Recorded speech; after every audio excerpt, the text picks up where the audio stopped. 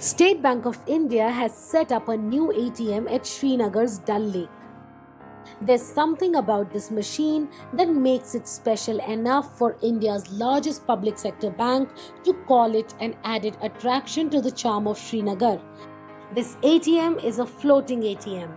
The newly installed machine on a houseboat will enable cash withdrawal facilities for both tourists and locals in the region. SBI, which has 22,224 branches and more than 63,906 ATMs in India, has earlier used the idea of a floating ATM in 2004. It was for the first time that an ATM was installed on a floating vessel. It was on Kerala Shipping and Inland Navigation Corporation's Jhankar yacht.